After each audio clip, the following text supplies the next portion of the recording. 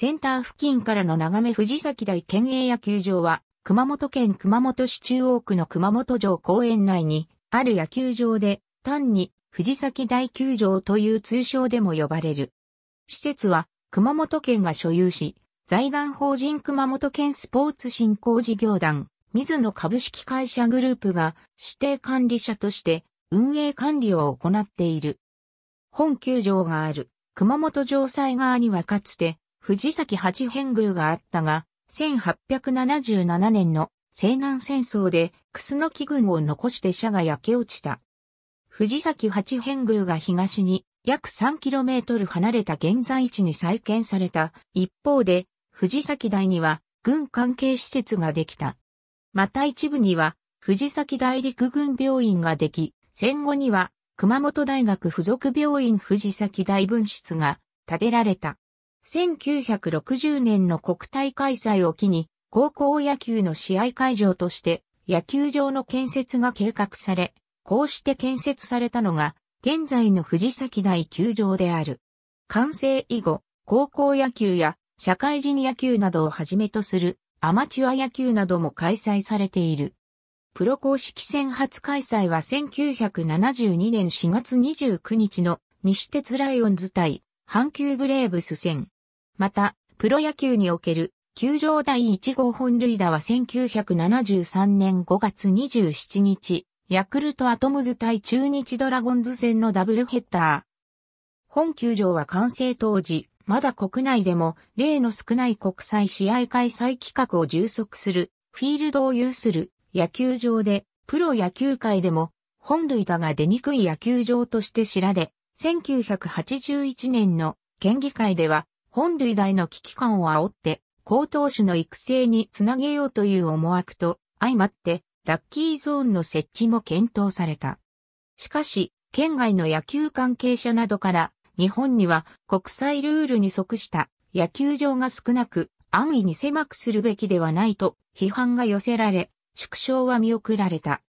1996年にはメインスタンドの全面改築など大規模な改修を受け、現在も熊本県の野球の殿堂として機能し続けている。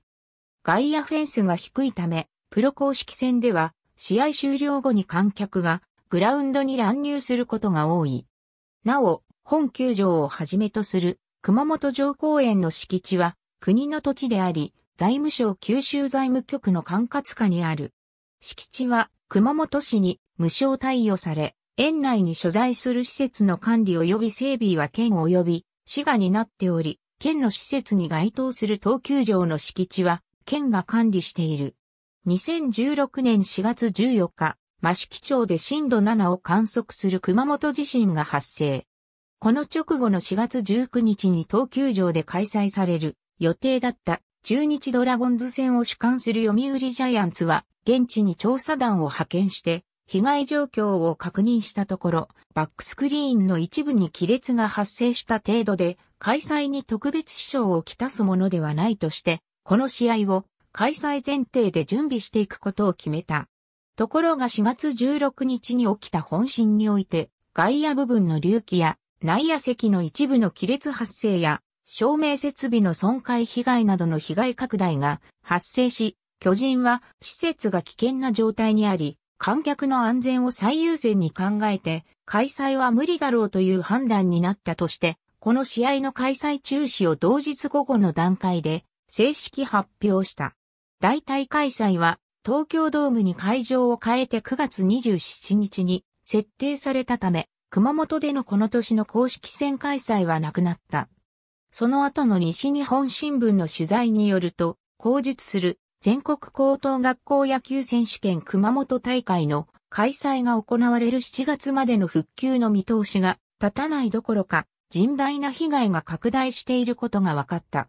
上述の外野隆起や照明、座席の一部損壊などに加え、レフトスタンドの石垣が大多数で倒壊、バックスクリーンも亀裂箇所が拡大し、球場周辺の立ち入りが大幅制限されている。また天井板も一部剥がれ落ちるなどの被害が出ており、熊本県保健体育課は、選手や観客の安全確保が第一なので、復旧工事をしたとしても、安全確認ができない限りは、試合開催のゴーサインはできないとした上で、一部、閉鎖する形で球場を使用するか、もしそれができたとしても、いつから利用できるかについては検討中としており、仮供用のめども立っていない。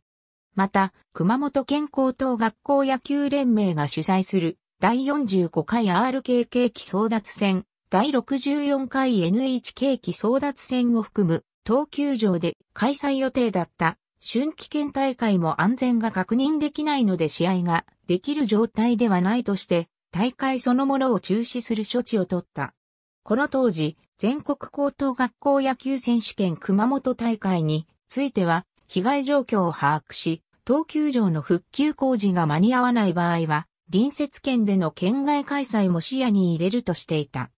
その後、熊本県高野連は、藤崎台の復旧が間に合わず、開催不可となった場合は、できる限り、熊本県内で開催ができるように、サブ会場である、県営八代運動公園野球場に加え、山鹿市民球場も会場に加えて調整する方向であるとした。熊本県高校野球連盟は6月21日に、施設の応急対策工事が7月7日までに完了する見込みとなり、選手権県大会のメイン会場として使用することを発表した。ただしスタンドの一部は立ち入り禁止の措置を取るため、再開後の収容可能人数は減少する。2017年4月復旧。そのこけら落としとして4月18日、巨人主管試合としては11年ぶりの公式戦となる東京ヤクルトスワローズとの東京シリーズが行われた。2018年6月15日、山鹿市に本社を置く地場住宅メーカーの株式会社リブワークとネーミングライツ契約を結ぶことを発表。同年7月1日から愛称がリブワーク藤崎大球場となった。契約期間は2018年7月1日から3年契約。同年7月4日の全国高等学校野球選手権大会熊本大会初日が新愛称での初試合となった。かつては読売ジャイアンツが毎年1試合、九州シリーズ3連戦の初戦を本球場で行うのが恒例となっていた。しかし、1990年代に入ると当時、オーナーだった渡辺恒夫が地方開催については観客収容力の多いドーム球場を中心に行う方針を取るなどドーム中心にしたため、1992年を最後に巨人主催の公式戦はしばらく開催されなかったが、2006年8月29日に対広島東洋カープ16回戦が14年ぶりに行われた。セリーグではこのほか、ヤクルトスワローズが1998年に1試合、横浜 DNA ベイスターズが不定期で年1試合開催している。なお、2012年4月25日に巨人対 DNA 戦が予定されていたが、雨天中止、2016年4月19日に巨人対中日戦が予定されていたが、熊本地震の影響で中止となった。その翌年の2017年4月18日、震災からの復旧完了後、初のプロ野球としてヤクルト戦が行われた。福岡ソフトバンクホークスは本拠地を福岡県に移転した大英時代の1989年に1試合を開催したのみであったが、2007年には18年ぶりとなる公式戦1試合が予定されていた。しかし試合開始時間を過ぎても天気が好転せず、雨天による天候不良で試合中止となったため、翌2008年4月8日の対オリックスバファローズ戦が19年ぶりの公式戦開催となった。以後、ソフトバンクの主催試合は毎年1試合行われており、3試合目にあたる2010年7月27日の対東北楽天ゴールデンイーグルス戦において勝ち、本球場での初勝利を挙げた。なお、ホークスが熊本で勝利を挙げたのは、南海時代の1951年8月12日、熊本市水前寺野球場で行われた東急フライヤーズ戦まで遡る。2011年からは、同年に全線開通した九州新幹線の主要駅である鹿児島の鹿児島県立鴨池野球場と本球場の2連戦が組まれている。2008年7月5日、この年から四国、九州アイランドリーグに加入した長崎セインツと福岡レッドアーブラーズの試合が開催された。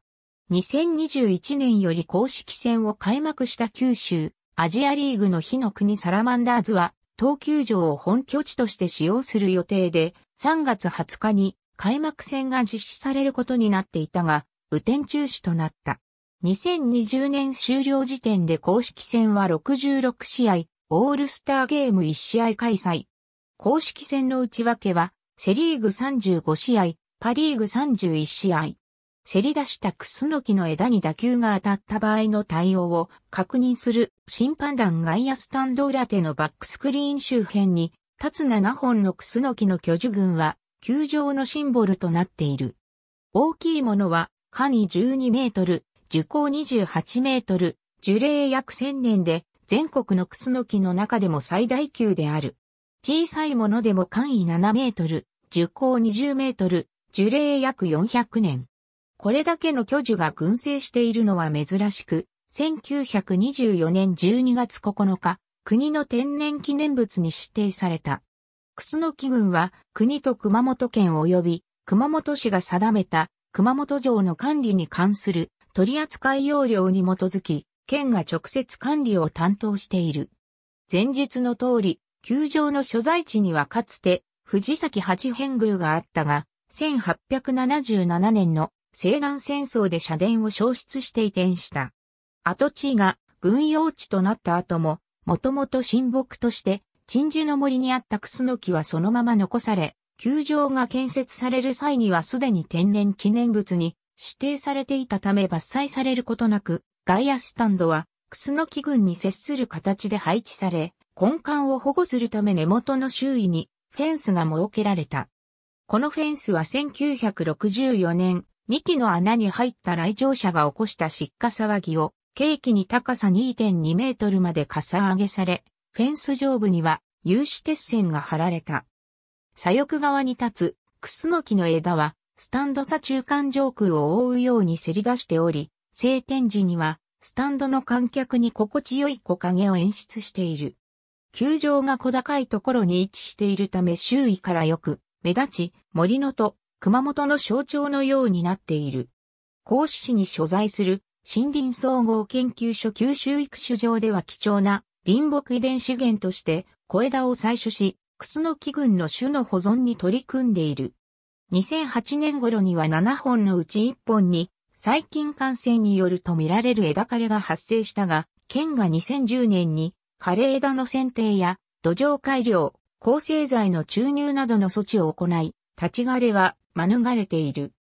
この枝枯れが発生した同時期には、球場周辺の住民を中心に、クスノキ群の保護活動を行うとともに、観光資源としての活用を目指す、熊本城藤崎大千年クスノキ群検証保存会が結成されている。この保存会などの提唱により、市民や観光客がより超える空間を演出するため、県は2008年秋から2011年秋にかけて、根幹周囲に設置していた有刺鉄線付きのフェンスを撤去し、代わりに市民が犬告げを植栽して、木柵とロープで囲い直す景観回復が実施された。なお、左翼側の枝の一部がフィールド内に約1.5メートルせり出しているが、天然記念物に指定された樹木は許可なく選定できないため、プロ野球公式戦では打球が枝や幹に接触してフィールドへ跳ね返った場合は、ボールインプレーとして打球が枝や幹に挟まった場合は、本塁打として扱っている。また、高校野球公式戦では、打球が枝や幹に接触した場合は、本塁打として扱っている。スコアボード。ありがとうございます。